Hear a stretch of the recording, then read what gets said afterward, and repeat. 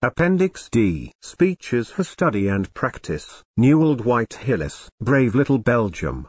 Delivered in Plymouth Church, Brooklyn, NY. October 18, 1914, used by permission. Long ago Plato made a distinction between the occasions of war and the causes of war. The occasions of war lie upon the surface, and are known and read of all men, while the causes of war are embedded in racial antagonisms, in political and economic controversies. Narrative historians portray the occasions of war, philosophic historians, the secret and hidden causes. Thus the spark of fire that falls is the occasion of an explosion, but the cause of the havoc is the relation between charcoal, niter and saltpeter. The occasion of the Civil War was the firing upon Fort Sumter. The cause was the collision between the ideals of the Union presented by Daniel Webster and the secession taught by Calhoun. The occasion of the American Revolution was the stamp tax. The cause was the conviction on the part of our forefathers that men who had freedom in worship carried also the capacity for self-government.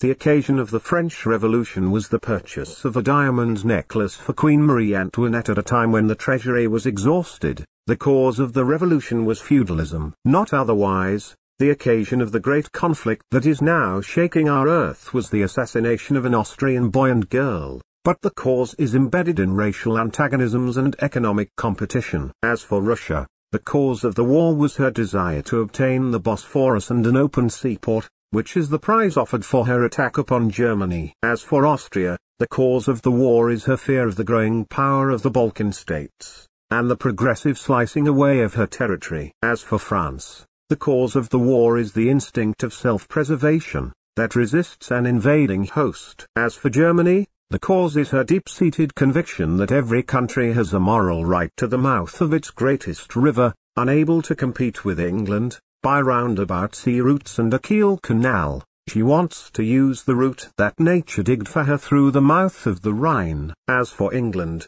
the motherland is fighting to recover her sense of security. During the Napoleonic Wars the second William Pitt explained the quadrupling of the taxes, the increase of the navy, and the sending of an English army against France, by the statement that justification of this proposed war is the preservation of England's sense of security. Ten years ago England lost her sense of security. Today she is not seeking to preserve, but to recover, the lost sense of security. She proposes to do this by destroying Germany's ironclads, demobilizing her army, wiping out her forts, and the partition of her provinces. The occasions of the war vary, with the color of the paper white and gray and blue but the causes of this war are embedded in racial antagonisms and economic and political differences. W.H.Y. Little Belgium has the center of the stage. Tonight our study concerns Little Belgium, her people, and their part in this conflict. Be the reasons what they may,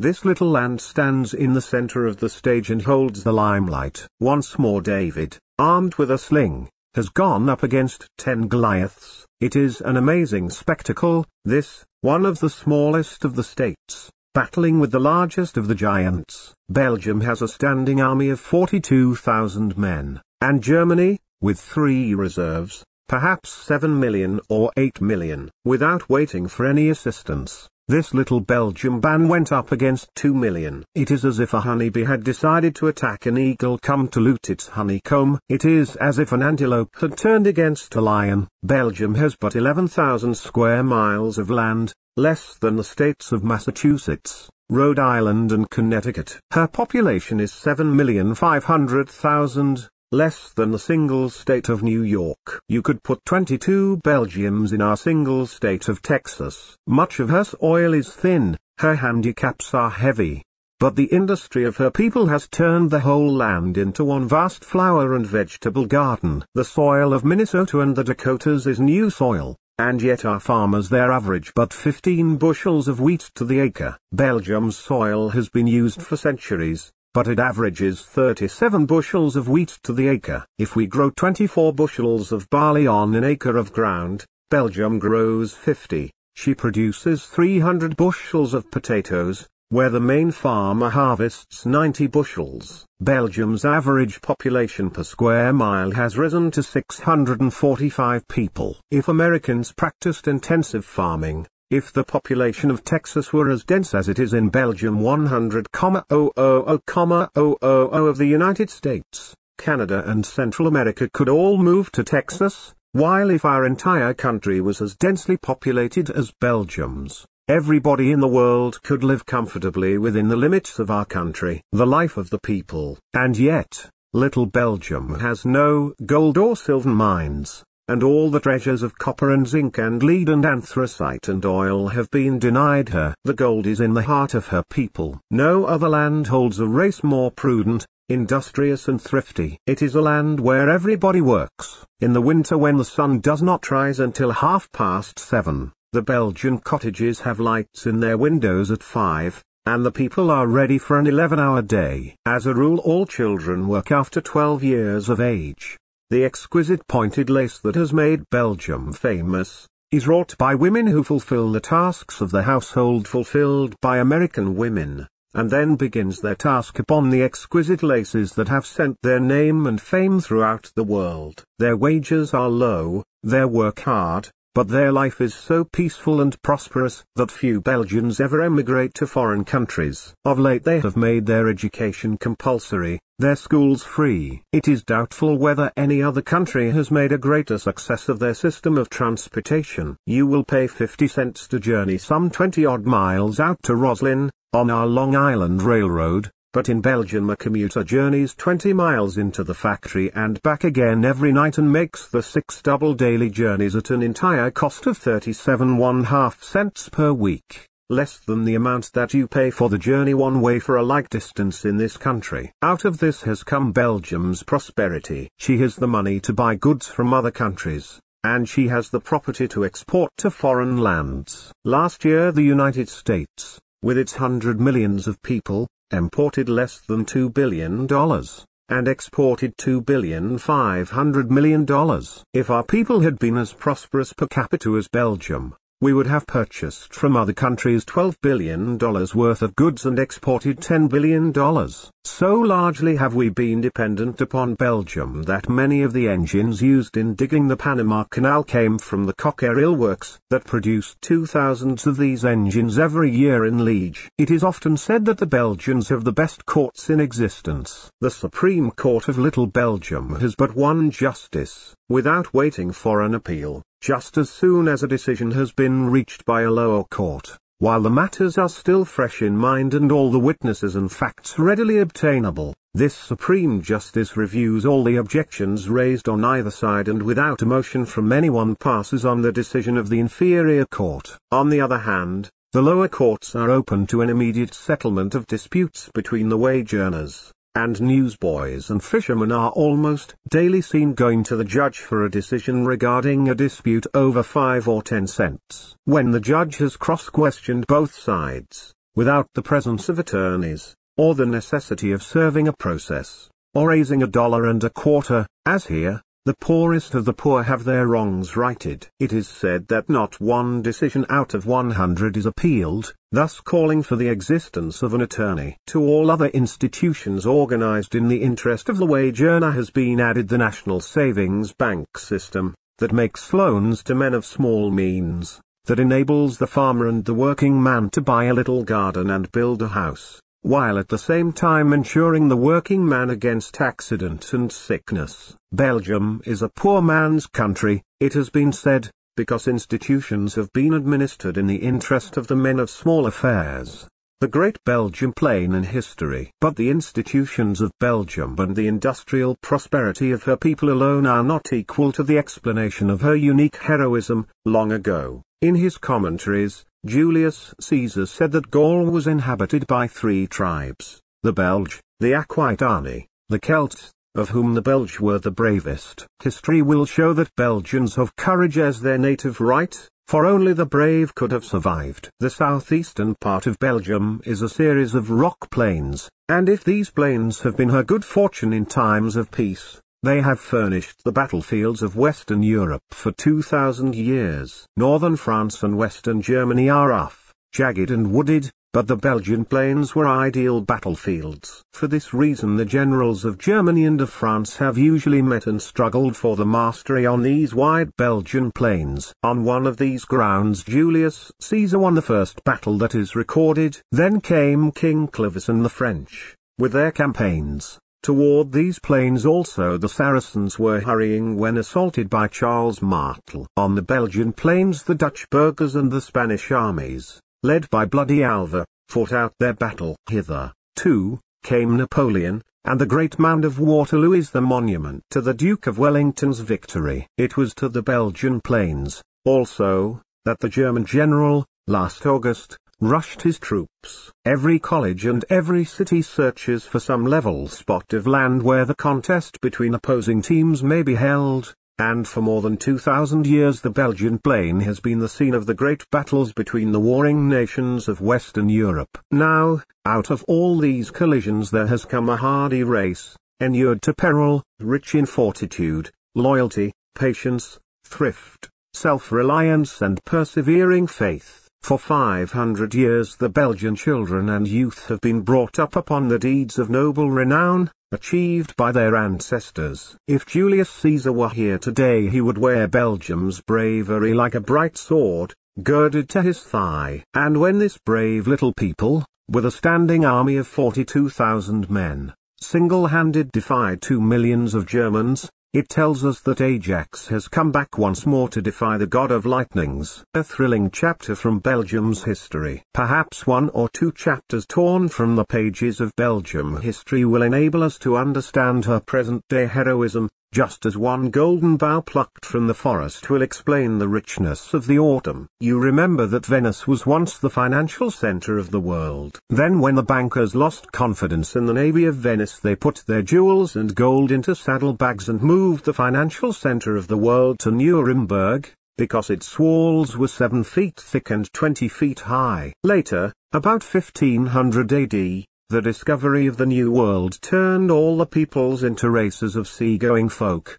and the English and Dutch captains vied with the sailors of Spain and Portugal. No captains were more prosperous than the mariners of Antwerp. In 1568 there were 500 marble mansions in this city on the Meuse. Belgium became a casket filled with jewels. Then it was that Spain turned covetous eyes northward, sated with his pleasures broken by indulgence and passion, the Emperor Charles V resigned his golden throne to his son, King Philip. Finding his coffers depleted, Philip sent the Duke of Alva, with 10,000 Spanish soldiers, out on a looting expedition.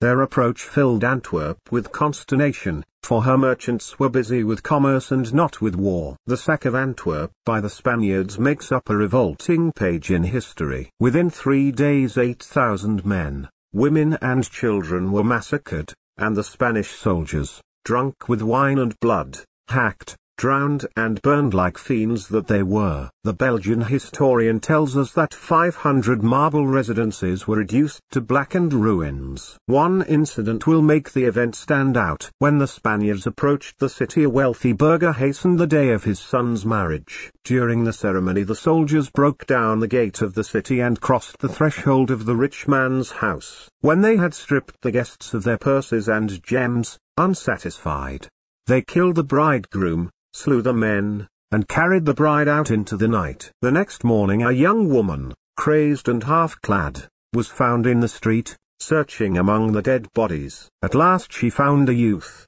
whose head she lifted upon her knees, over which she crooned her songs, as a young mother soothes her babe. A Spanish officer passing by, humiliated by the spectacle, ordered a soldier to use his dagger and put the girl out of her misery. The horrors of the Inquisition. Having looted Antwerp, the treasure chest of Belgium, the Spaniards set up the Inquisition as an organized means of securing property. It is a strange fact that the Spaniard has excelled in cruelty as other nations have excelled in art or science or invention. Spain's cruelty to the Moors and the rich Jews forms one of the blackest chapters in history. Inquisitors became fiends. Moors were starved, tortured, burned, flung in wells, Jewish bankers had their tongues thrust through little iron rings. Then the end of the tongue was seared that it might swell, and the banker was led by a string in the ring through the streets of the city. The women and the children were put on rafts that were pushed out into the Mediterranean Sea. When the swollen corpses drifted ashore,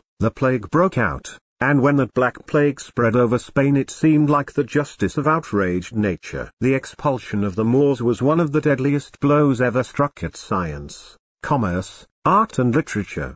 The historian tracks Spain across the continents by a trail of blood. Wherever Spain's hand has fallen it has paralyzed. From the days of Cortes, wherever her captains have given a pledge, the tongue that spake has been mildewed with lies and treachery. The wildest beasts are not in the jungle. Man is the lion that rends. Man is the leopard that tears. Man's hate is the serpent that poisons, and the Spaniard entered Belgium to turn a garden into a wilderness. Within one year, 1568, Antwerp, that began with 125,000 people, ended it with 50,000. Many multitudes were put to death by the sword and stake, but many, many thousands fled to England, to begin anew their lives as manufacturers and mariners, and for years Belgium was one quaking peril, an inferno whose torturers were Spaniards. The visitor in Antwerp is still shown the rack upon which they stretched the merchants that they might yield up their hidden gold. The painted lady may be seen opening her arms. She embraces the victim. The Spaniard, with his spear, forced the merchant into the deadly embrace. As the iron arms concealed in velvet folded together, one spike passed through each eye, another through the mouth another through the heart. The painted lady's lips were poisoned, so that a kiss was fatal. The dungeon whose sides were forced together by screws, so that each day the victim saw his cell growing less and less, and knew that soon he would be crushed to death, was another instrument of torture. Literally thousands of innocent men and women were burned alive in the marketplace. There is no more piteous tragedy in history than the story of the decline and ruin of this superbly prosperous, literary and artistic country, and yet out of the ashes came new courage. Burned, broken, the Belgians and the Dutch were not beaten. Pushed at last into Holland, where they united their fortunes with the Dutch, they cut the dikes of Holland, and let in the ocean, and clinging to the dikes with their fingertips, fought their way back to the land. But no sooner had the last of the Spaniards gone than out of their rags and poverty they founded a university as a monument to the providence of God in delivering them out of the hands of their enemies. 4. The 16th century, in the form of a brave knight, wears little Belgium and Holland like a red rose upon his heart. The death of Egmont. But some of you will say that the Belgian people must have been rebels and guilty of some excess, and that had they remained quiescent, and not fermented treason, that no such fate could have overtaken them at the hands of Spain. Very well, I will take a youth who, at the beginning, believed in Charles V, a man who was as true to his ideals as the needle to the pole. One day the bloody council decreed the death of Egmont and Horn. Immediately afterward, the Duke of Alva sent an invitation to Egmont to be the guest of honor at a banquet in his own house. A servant from the palace that night delivered to the count a slip of paper, containing a warning to take the fleetest horse and flee the city, and from that moment not to eat or sleep without pistols at his hand. To all this Egmont responded that no monster ever lived who could, with an invitation of hospitality, trick a patriot. Like a brave man, the Count went to the Duke's palace. He found the guests assembled, but when he had handed his hat and cloak to the servant, Alva gave a sign, and from behind the curtains came Spanish musketeers, who demanded his sword. For instead of a banquet hall, the Count was taken to a cellar, fitted up as a dungeon. Already Egmont had all but died for his country. He had used his ships, his trade, his gold, for righting the people's wrongs. He was a man of a large family a wife and eleven children and people loved him as to idolatry. But Alva was inexorable. He had made up his mind that the merchants and burghers had still much hidden gold, and if he killed their bravest and best, terror would fall upon all alike. And that the gold he needed would be forthcoming. That all the people might witness the scene, he took his prisoners to Brussels and decided to behead them in the public square. In the evening Egmont received the notice that his head would be chopped off the next day. A scaffold was erected in the public square. That evening he wrote a letter that is a marvel of restraint. Sire I have learned this evening the sentence which your majesty has been pleased to pronounce upon me, although I have never had a thought, and believe myself never to have done a deed, which would tend to the prejudice of your service or to the detriment of true religion, nevertheless I take patience to bear that which it has pleased the good God to permit. Therefore, I pray your majesty to have compassion on my poor wife, my children and my servants, having regard to my past service, in which hope I now commend myself to the mercy of God. From Brussels, ready to die, this 5th of June, 1568. Lamoral d'Egmont. Thus died a man who did as much probably for Holland as John Eliot for England, or Lafayette for France, or Samuel Adams for this young republic, the woe of Belgium. And now out of all this glorious past comes the woe of Belgium. Desolation has come like the whirlwind, and destruction like a tornado. But ninety days ago and Belgium was a hive of industry, and in the fields were heard the harvest songs. Suddenly, Germany struck Belgium. The whole world has but one voice, Belgium has innocent hands. She was led like a lamb to the slaughter. When the lover of Germany is asked to explain Germany's breaking of her solemn treaty upon the neutrality of Belgium, the German stands dumb and speechless. Merchants honor their written obligations. True citizens consider their word as good as their bond. Germany gave treaty and in the presence of God and the civilized world, entered into a solemn covenant with Belgium. To the end of time, the German must expect this taunt, as worthless as a German treaty. Scarcely less black the two or three known examples of cruelty wrought upon non-resisting Belgians. In Brooklyn lives a Belgian woman. She planned to return home in late July to visit a father who had suffered paralysis an aged mother and a sister who nursed both. When the Germans decided to burn that village in eastern Belgium, they did not wish to burn alive this old and helpless man, so they bayoneted to death the old man and woman, and the daughter that nursed them. Let us judge not, that we be not judged. This is the one example of atrocity that you and I might be able personally to prove. But every loyal German in the country can make answer, these soldiers were drunk with wine and blood. Such an atrocity misrepresents Germany and her soldiers. The breaking of Germany's treaty with Belgium represents the dishonor of a military ring, and not the perfidy of 68 million of people. We ask that judgment be postponed until all the facts are in. But, meanwhile, the man who loves his fellows, at midnight in his dreams walks across the fields of broken Belgium. All through the night air there comes the sob of Rachel, weeping for her children, because they are not. In moods of bitterness, of doubt and despair the heart cries out, How could a just God permit such cruelty upon innocent Belgium? No man knows. Clouds and darkness are round about God's throne. The spirit of evil caused this war, but the spirit of God may bring good out of it just as the summer can repair the ravages of winter. Meanwhile the heart bleeds for Belgium, for Brussels, the third most beautiful city in Europe. For Louvain, once rich with its libraries, cathedrals, statues, paintings, missals, manuscripts now a ruin. Alas! For the ruined harvests and the smoking villages. Alas, for the cathedral that is a heap, and the library that is a ruin, where the angel of happiness was the stork famine and death, gone.